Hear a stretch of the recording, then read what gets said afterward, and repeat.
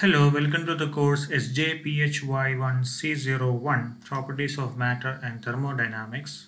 The contents of today's lecture is taken from Heat and Thermodynamics by Brijlal and Subramanian.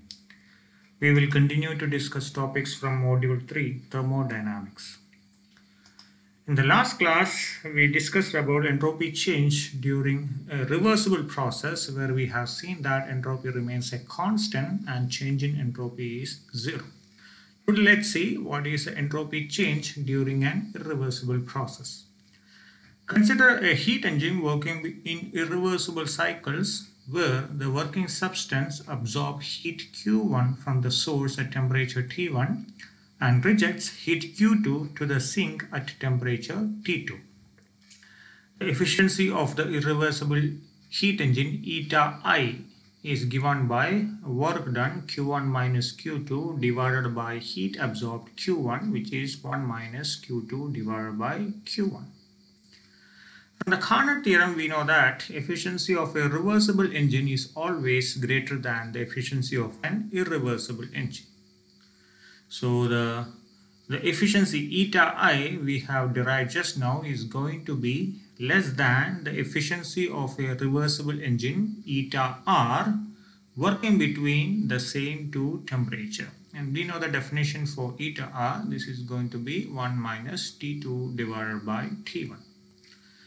So from Carnot theorem, I can write eta i, efficiency of the irreversible engine is less than eta r, efficiency of the reversible engine.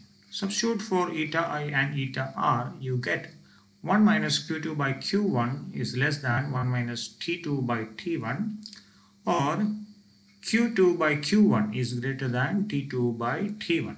If you interchange the diagonal terms, you get q2 by t2 is greater than q1 by t1. In other words, Q2 by T2 minus Q1 by T1 is greater than 0.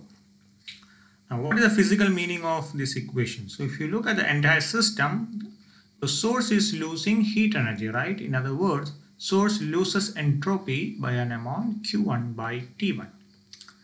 Sink is gaining heat energy, so consequently, sink gains entropy by an amount Q2 by T2. So what's the net change in entropy? This is going to be the total gain Q2 by T2 minus the total loss Q1 by T1. And we know that this is greater than zero. So the net change in entropy is positive.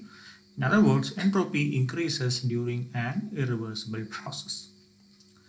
So we have derived this result for the specific case of a Carnot engine. Let's see whether this is true for any general irreversible process. So let's take another example. You have a hot body maintained at a higher temperature T1 and a cold body maintained at a lower temperature T2. When you bring these two in thermal contact, heat is going to flow from the hot body to the cold body. And let's say Q is the amount of heat which is transferred between these two. And we know that this is an irreversible process for sure because heat flows only in one direction from hot body to the cold body. Because according to second law, the reverse flow is not possible. Okay, so this is an irreversible process. Now let's see what is the entropy change during this process. The hot body is losing heat by an amount Q. So the decrease in entropy of the hot body is going to be Q divided by T1. The cold body gains heat by an amount Q. So the increase in entropy of the cold body is Q divided by T2. And what's the net change in entropy? Ds is going to be the total gain minus total loss which is q by t2 minus q by t1 but we know that t1 is greater than t2 so q by t2 is going to be greater than q by t1 so you get change in entropy it is once again greater than 0 so let's conclude that for any irreversible process the entropy of the system always increases. Since all natural processes occurring in this universe are irreversible, we can say entropy of the universe always increases. So ds universe is always greater than zero. This is known as principle of increase of entropy. So to summarize, if you have a reversible process, the total change in entropy is going to be zero. On the other hand, if you have an irreversible process, the net change in entropy is going to be greater than zero. So using this understanding, Clausius redefined the second law from the perspective of entropy. So he said, for all the processes taking place in an isolated system, entropy of the system either increases or remains a constant. Right? Process has to be either reversible or irreversible. In both cases, either it increases or it remains a constant. The next question is, what is the connection between entropy and energy of a system? So once again, let's take the case of a Carnot engine. So we have a Carnot engine working between a hot reservoir or a source temperature T1 and a cold reservoir or sink at temperature T2. Let Q be the amount of heat energy available at temperature T1. And efficiency eta equal to work divided by heat absorbed or you can write work equal to efficiency into heat energy Substitute for efficiency, you get 1 minus T2 divided by T1 into Q.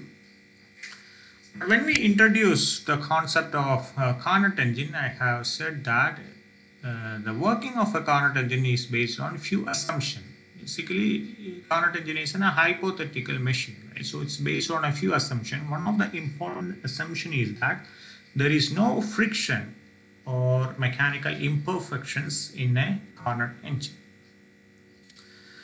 But in reality, if you use any practical heat engine, there is going to be friction and other types of contact forces.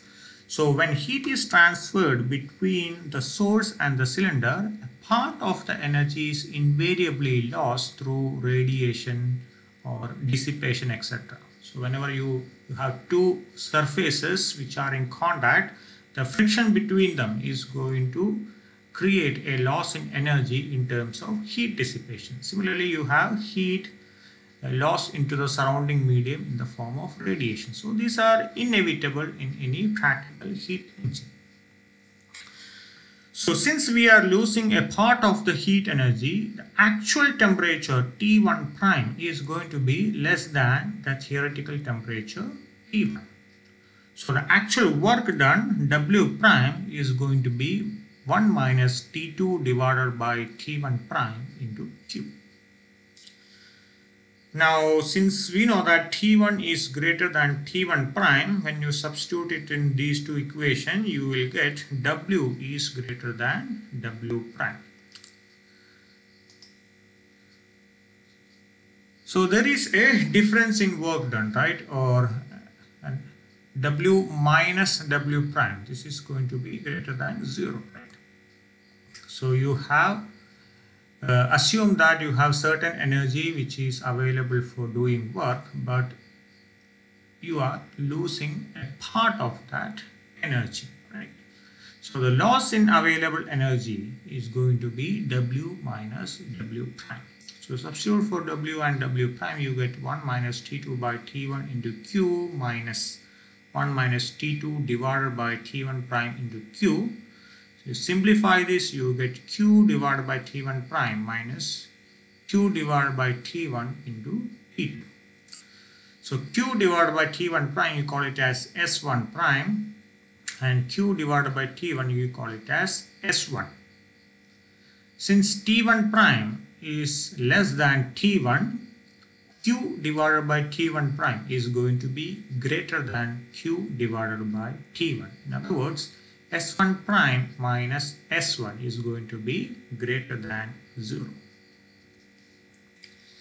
So the net change in entropy is positive. In other words, there is a gain in entropy. So let's put things into perspective. The loss of available energy is equal to gain in entropy multiplied by temperature T2. So if you take T2 as a constant, you can write loss of available energy is proportional to gain in entropy. So as entropy of the system increases, its available energy By available energy, what I mean is energy available for doing useful work. So when entropy of the system increases, its available energy decreases or I can say unavailability of energy increases. That's why entropy is defined as a system's thermal energy per unit temperature that is unavailable for doing useful work.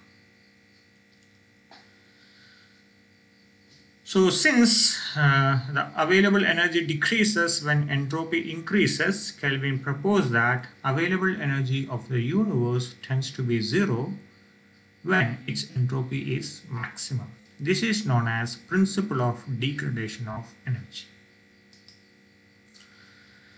Now coming to the obvious question, what is the connection between entropy and disorder? If you take any thermodynamic system, so it consists of atoms and molecules and these atoms or molecules are not stationary. They are always moved. So and the, the movement is quite random, especially if you take a system of gas molecules, you will find that the gas molecules are always moving in all sorts of random directions. Now the movement eh, depends heavily on temperature. So when you increase temperature, you see that the motion is increasing proportionally. Okay. And this is because the kinetic energy of the molecule, half mv square, is proportional to temperature and the relation is kBt equal to half mv square where the proportionality constant kb is known as Boltzmann constant. So from this you can easily make out when temperature increases the kinetic energy of the atoms or molecules increases consequently their velocity is also going to increase. So when temperature T equal to 0 the velocity of the molecules are 0 so all molecules are still so this is the perfect arrangement of atoms and molecules at absolute zero. But when you increase the temperature you'll see that the molecules start moving. And if you keep increasing the temperature you find that the molecules move faster and farther. So since these movements are related to temperature these are essentially thermal agitation. So whenever you provide heat energy to a system the thermal agitation is going to increase and we also know that when we provide heat energy to a system, its entropy increases.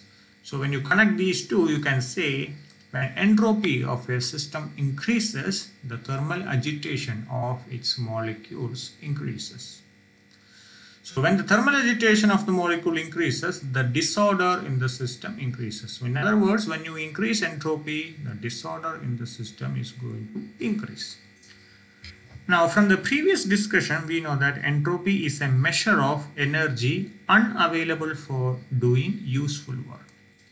Usually work is associated with ordered molecular motion. Suppose you apply a force, all the molecules are going to move in the direction of the force. So force multiplied by displacement, you get the corresponding work done. So work is obtained from ordered molecular motion. So when I say energy unavailable for doing useful work. Basically I am talking about energy which is used up in disordered molecular motion. That's why entropy is considered as a measure of molecular disorder or randomness of a system. And what's the direct relation between entropy and disorder? According to Freeman Dyson these two parameters can be correlated using an empirical relation. So this is not based on any strong theory. This is purely based on empirical observation. Entropy S equal to Kb log omega, where omega is the disorder parameter and Kb, as I said before, is the Boltzmann constant whose value is 1.38 into 10 to the power minus 23 joule per Kelvin. So from this equation, it's very clear when the disorder parameter omega increases, the entropy is going to increase. So that's for today. Thank you.